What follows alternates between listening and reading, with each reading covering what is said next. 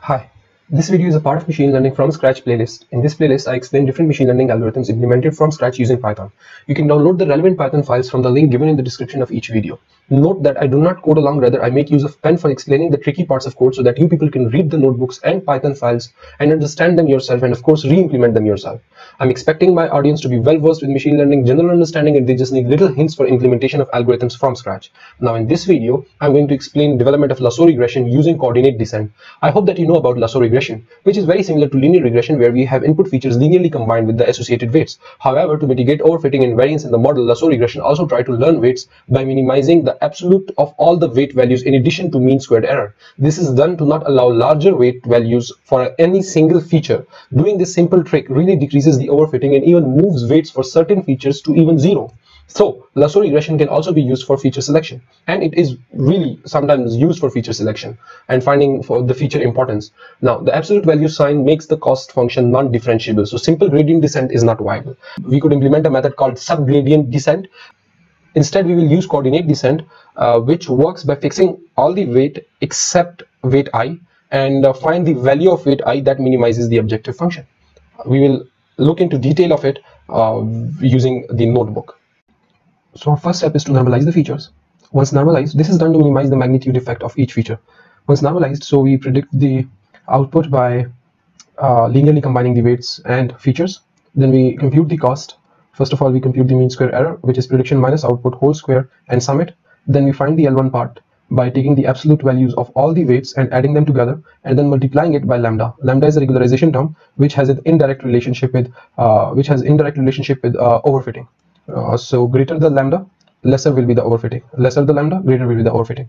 Then we apply the coordinate descent step which is basically choosing the ith feature. We can also call that coordinate. We can also call that a dimension. Once we choose ith feature, we choose the weight for that ith feature such that to minimize the cost. How do we do it? I'll explain it in a bit. But uh, we repeat this step one and two for each of the feature in cyclical order. So that's why it is also called cyclical uh, cyclical coordinate descent. Now coming to the most important part, we actually calculate this function which I call ROI for each feature in which uh, the value of ith feature, the output minus prediction which is basically error the ith weight and the ith feature. All of these values are used and they are summed together to find out the RO value for that ith feature.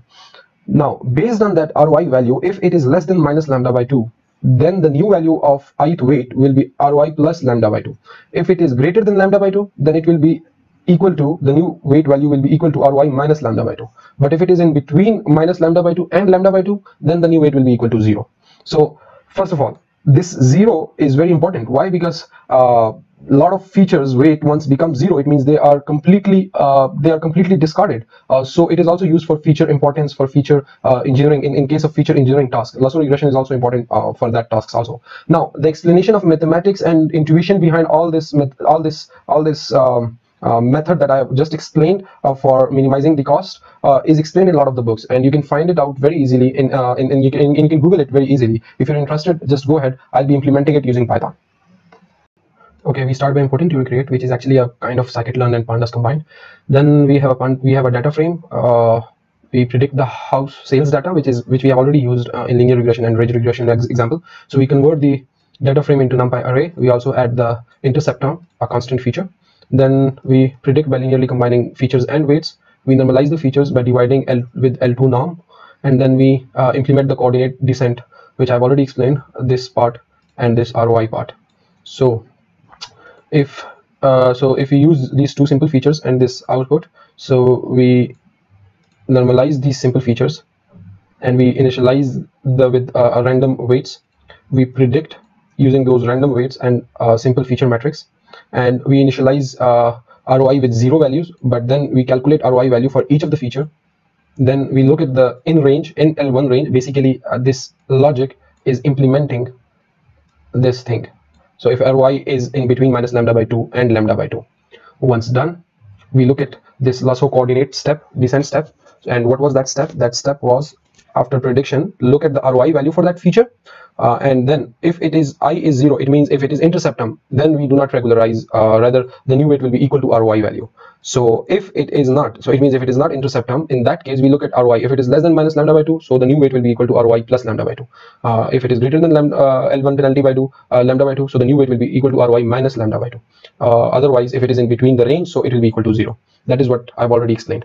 Now in cyclical or cyclical coordinate descent we just uh, do the same thing but for all features in cyclical order unless we converge. And how do we uh, look at the convergence? We have a tolerance value. We look at the uh, maximum change. If it is uh, less than tolerance then we say that okay we have converged. Otherwise not. Okay so we have input as a feature matrix output initial weights and penalty and uh, tolerance. So given the feature matrix so d contains the total number of features and uh, weights contain initial weights initially initial randomly initialized weights. So we have change uh, and the change will be equal to uh, zero for each of the uh, weight for each of the feature. Once convergence will be like looked at by this. So initially convergence has not been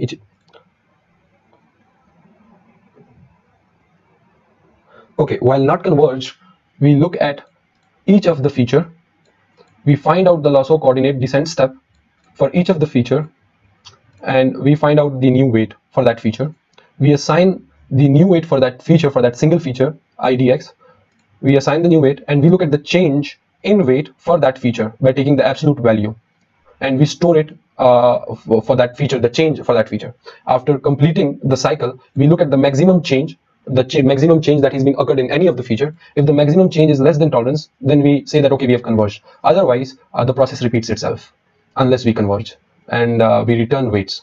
So using these initial conditions, we apply this lasso regression, we find the weights, and then we also evaluate, with, evaluate it with more features by randomly splitting it uh, in 80-20, and then we use a lot of different features we again use different um, initial different initialization conditions. This whole thing is like really simple. The, the logic has been completed. Now this whole part is just the application part. So we find out the weights. We look at the weights. If you look at the weights after applying lasso regression there are a lot of the lot of weights are zero. It means these features are really not important. So i mean this is really great. Uh, so we could use it for feature uh, importance and uh, feature engineering. Okay uh, this is uh, this is this whole uh, notebook further notebook contains uh, exploration of different weight values. Uh, and one thing that we have to look at is this rescaling of learned weights because uh, either we have to we have to scale the test data set or if we don't want to scale the test data set then we have to rescale the weights that we have learned because the weights we have learned are normalized because they were learned using the normalized feature so how can we do that? We only divided by the L2 norm that we already had used in the first step for normalizing the features. Just just just let me show you. Oh yeah here is the norms. So this is the norm that we have we had already used. Uh, I think so now the whole thing is clear. The main function is this cyclical coordinate descent and this lasso coordinate descent single step. I hope so. You will be able to implement it from scratch yourself